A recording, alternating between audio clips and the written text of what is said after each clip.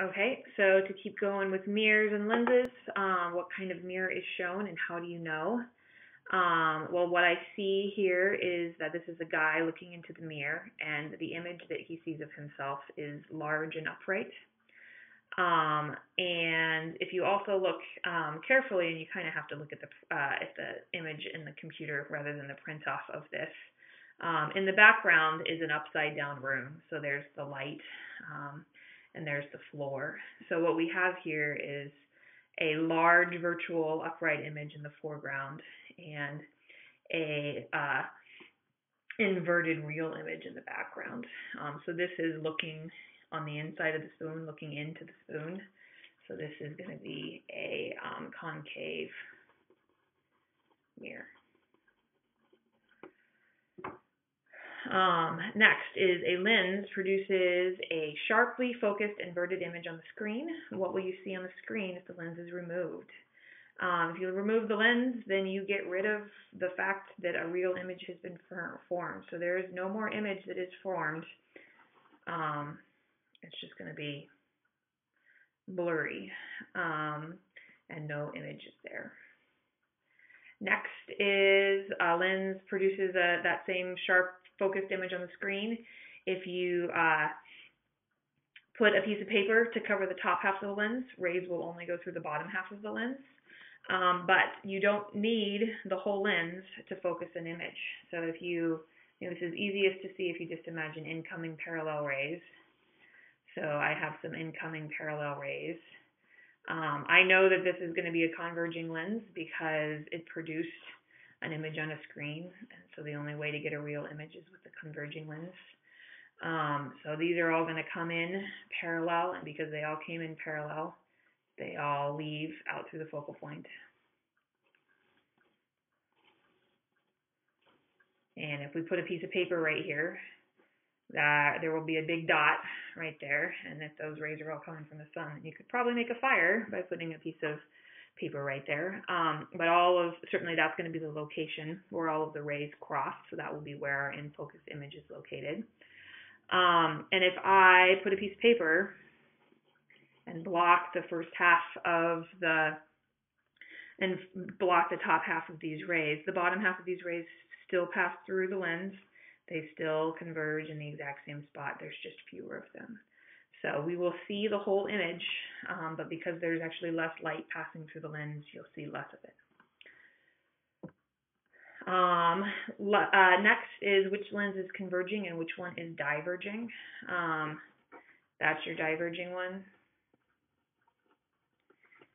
And, oops, I'm saying that wrong. That is your diverging one. And that is your converging one. Um, the main reason that I know this is because um, both of these have upright images, so I know that they're both virtual images that I'm looking at. Um, but this one has a image that's smaller than that person's real eyeball, and this one has an image that is larger than that person's real eyeball. So converging uh, real images from converging lenses always make um, objects that are always make images that are bigger than the object and images that are formed from diverging lenses always make virtual images that are smaller.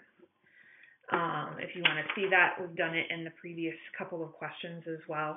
So here's three kind of ray diagrams for a diverging lens where you see that for all three of them, the object is bigger than the image, the object is bigger than the image, the object is bigger than the image. Um, so the diverging lens is always going to have an image that's smaller than the object. So the the image of the eyeball, which is what you see when you look through the lens, is smaller than the actual eyeball itself. Um, with the converging lens, you can either get a real image, which would look something like that, and that would be upside down. Since the eyeball is not upside down, then we know we're not looking at that one. We got to be looking at this one. Um, and so the eye must be inside the focal point of the lens, which makes sense because the eye is very close to the lens. And we formed uh, an upright um, virtual and larger object there. Sorry, an upright virtual and larger image there. Okay. next, kind of a different take on the same exact problem again. So I have uh, a bunch of light rays that are coming in um, to focus at this point one. And the question is saying now I'm going to plop this lens, this diverging lens right there. Um, and it just so happens that the focal length of this lens is going to be right at point one. So as I move this lens to get in the way of these rays that are currently converging, what happens to them? So what we will end up having is a diverging lens right here. And I have a bunch of rays that are coming in toward the focal point of this diverging lens. But because they're coming in toward the focal point, that's one of our three principal rays. I know that the diverging lens will bend them all. Coming in toward the focal point, they will bend and go out parallel. So what ends up happening is that there. Um, for the last question in our mirrors and lenses chapter is can real images be projected on a screen? What about virtual and can either be photographed? Um, I put this on the review because I was kind of uh, not satisfied with most of the answers that you guys gave on your on your homework, so I wanted to have a chance to revisit it. Um, so I think we were fine with the first part of this. Real images are the only ones that have real rays crossing. So only real images can be projected onto a screen. Virtual images cannot be seen on a screen. Right? If you, there's nowhere to put the screen where the rays are actually crossing, so you won't be put them on a screen. Both can be photographed. Um, yes, um, and this was fine. Yes, both can be photographed, but um, the reason that they can be photographed is because that photograph, that camera, has a converging lens inside of it.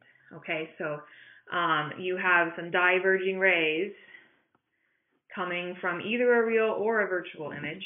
It doesn't matter. At the location of the camera, they're diverging rays, and that camera converges them into a spot um, where the film or the negative or whatever it is that's back here, um, some photo sensor on a digital on a digital camera is actually at this spot, and as long as the rays are converging at that spot, it will see the image.